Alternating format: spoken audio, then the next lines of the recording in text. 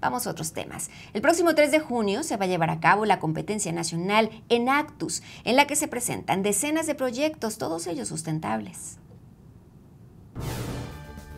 En la competencia nacional en Actus 2013, que se realizará el día 3 de junio próximo en el centro Banamex, participarán más de 800 estudiantes universitarios de 51 instituciones de educación superior públicas y privadas de todo el país, presentando más de 50 proyectos productivos totalmente sustentables.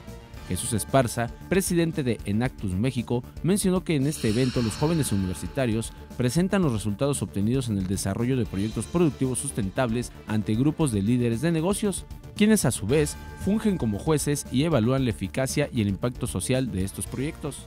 Aplicando sus conocimientos, o sea, y sumándole la pasión por la responsabilidad eh, social de forma sustentable buscando no contaminar, buscando no impactar el medio ambiente, buscando eh, dejarle un valor añadido este, a las personas en las comunidades donde trabajan.